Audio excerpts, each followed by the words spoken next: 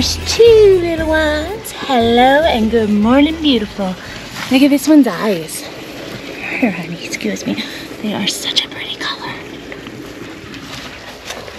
All right, let's see. There's two, three, four, five, six, seven, eight, nine, ten, eleven, twelve. Everybody's accounted for. Hello and good morning.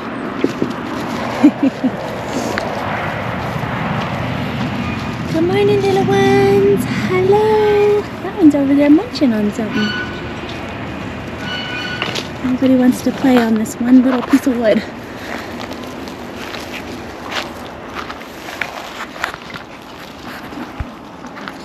Oh, you guys are just too adorable.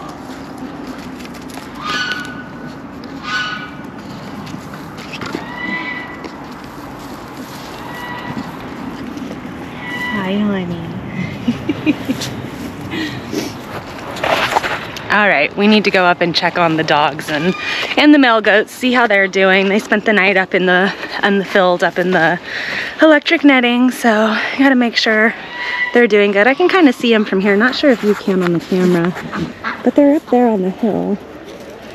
Maple's looking down on me.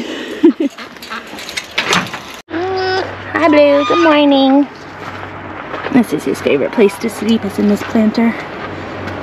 Right by the front door. Hi. Good morning. You handsome cutie. All right, so we are gonna take some hay up to the goats just because it is pretty much just pure grass up right, right now and goats don't thrive well on pure grass. So we're gonna supplement them with some hay and then this afternoon we'll go back up and see if they need to be moved.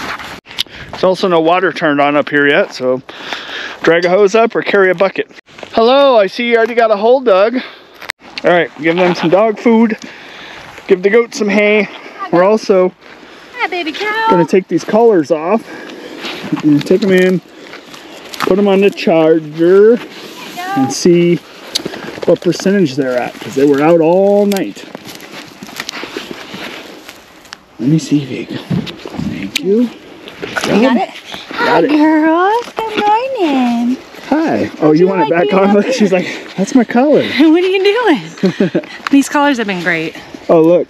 Until they've been digging all night. Look at them. Yeah, Yeah, look okay. at this hole. They're meant for that. First night up, big old hole.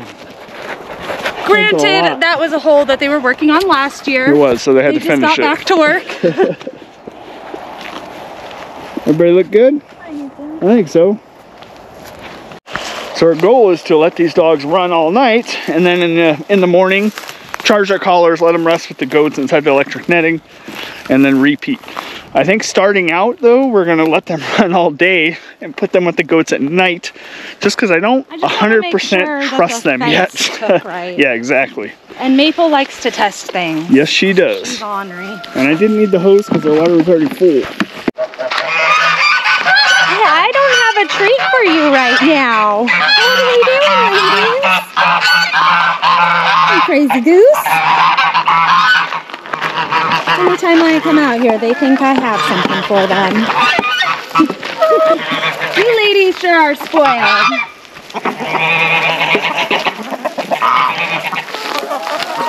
Came out to get your eggs, though. Lately, we've been trying to put the geese in their separate area because Rose has decided to become a egg eater and we forgot to get the eggs this morning. We also did not get Rose put into the other pen this morning and so I wanted to show you guys. This is what she's been doing, just reaching her head up here and munching on eggs. So if anybody knows of a way to get a goose to quit eating chicken eggs, I'd really like to know because she is becoming a handful. She might have to become a Christmas goose. It is so cold today. Such a big difference in weather, you guys. Yesterday it was 75 degrees.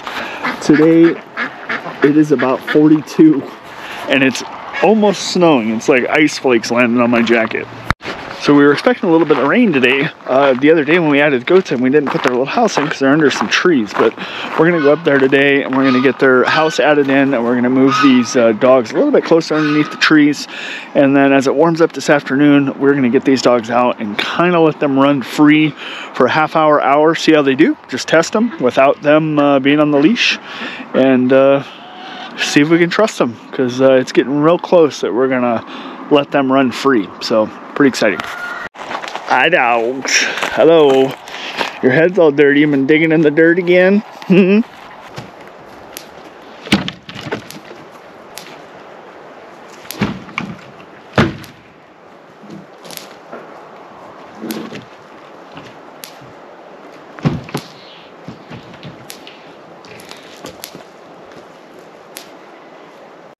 Okay, all done. They're moved. We'll have one of the kids bring them up some dog food. And then this afternoon, hopefully we can come up, if the weather's not too bad, and spend some time outside with them and let them run free, like I was saying. All right, we got the collars. Let's go put them on. Oh, Maple's collar's on. Look how excited she is. Yeah, we're not gonna run all day though. It's loosened up, and so it's messed up. Oh, so you gotta adjust it? Oh, it loosened way up. Yeah, It should be on the last, second to last notch. yeah. I pulled it. Yeah, My that's all fault. Okay, come here, Figs. I'm sorry. I'm oh. prepared now. Come here, honey. I'm a little nervous because we haven't had them completely off leashes and everything yet. So, no, Arctic. Come on, go. Go, Maple. Come on, Maples. It's okay. The fence ain't on anymore. I know, but Arctic's going to try and Maple. go. Come on, Maples. Come on, Go. Go. Go ahead. Oh, Go ahead. Good job. Good girls. Good girls.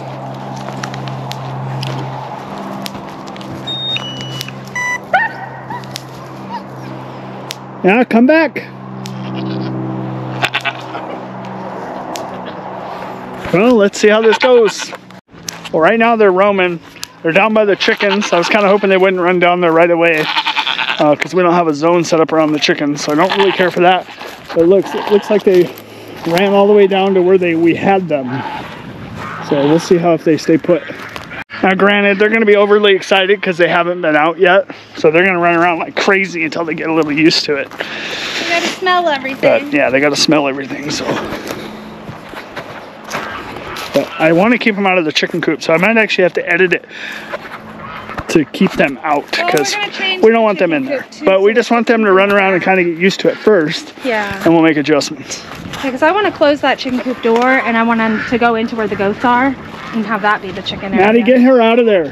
Hey, Maddie, make sure she's not in there. So we're just kind of watching them right now. They are back up on the hill next to the goats, just kind of watching the goats from the outside of the fence. Now, Maple has gotten corrected because she's not paying attention to the tones, but Fig has been paying attention to the tones. It looks like they're going to the top of the property, so I'm really hoping that everything works and they come back. So yeah, I have turned on the static uh, correction for Maple and Fig just because Maple doesn't pay attention to the beeps. And they went way up there and I wasn't sure if they're gonna get out. And then I heard Maple yip and here they come. So it works. And it works great. Now you guys, these are Great Pyrenees. Probably some of the hardest dogs to train to get to stay in within a perimeter without fencing uh, because they have a mind of their own. They do what they want, when they want, and it doesn't really matter what you tell them, they're gonna keep doing it. So having these collars is a blessing, uh, especially someone like us, small scale farmers, homesteaders, can't afford fencing our entire property. This just makes sense and it works out really well. All right, guys, so they've been out for like 15, 20 minutes here, and look, Big's right there, and look at Maple, not leaving Elizabeth's side.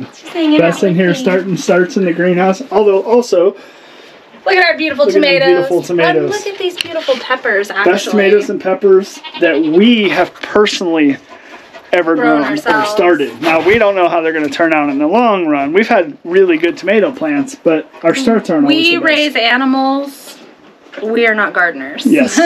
we are We livestock prefer- farmers. We are much prefer to raise animals. yes. We are chaos gardeners. Throw out the seeds and just hope they grow. This year we did put a little bit more work into it though because I did get our grow lights. Well, out. we've put more and more food every year away, Yes. and that's just our goal: is to continuously put more and more away. Well, the nice thing is we're still eating off of last year's food.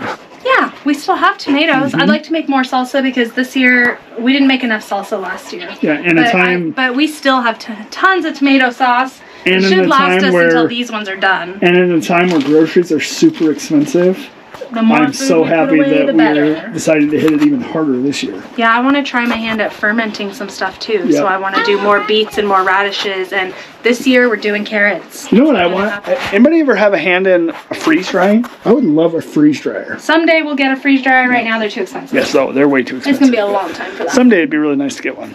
Anyways, Maple, are you just gonna hang out in here? She just she loves me. I don't know where Fig went. She might be in the chicken coop. I better go check. The chickens don't want you in there. You stay out of there. They don't want you in there.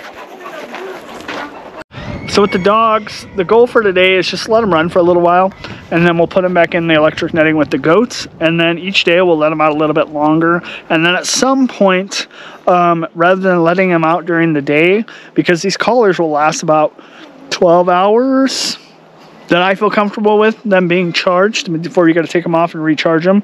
So we'd like to get to the point where we have them in during the day where they're resting, they're sleeping, whatever, they're drinking water, they're eating, and uh, just kind of hanging out with the goats inside when there's not a lot of predator pressure during the day. And then in the evening, come out, put the collar on, let them out, let them do their thing around the property all night. That's the ultimate goal.